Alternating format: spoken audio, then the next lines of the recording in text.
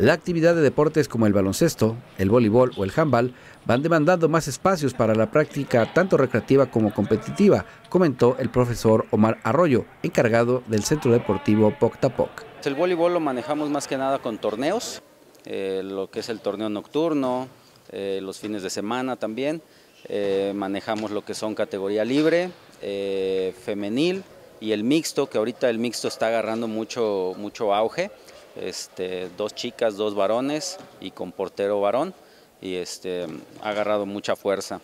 Este, el básquetbol, eh, tenemos ahí un club que viene dos días a entrenar eh, y también un torneo los fines de semana.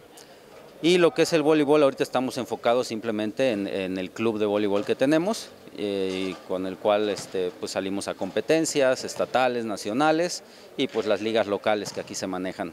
Este, pero también me gustaría mencionar que tenemos el handball, que es un deporte este, pues chico todavía. Este, aquí viene un club de, de, handball de, de 2 a 4 de la tarde. En lo que corresponde al desarrollo de la disciplina como el handball, se van abriendo espacios para su práctica, comentó el profesor Omar Arroyo. El handball, eh, pues yo creo que más que nada fue ante la falta de espacios deportivos para ellos.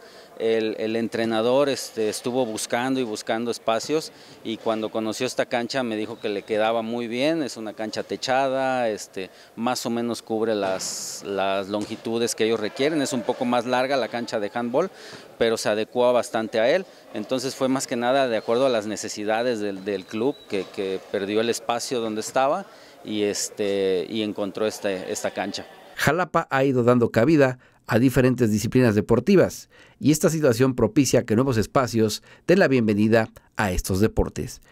Reportó para más deportes Magno López.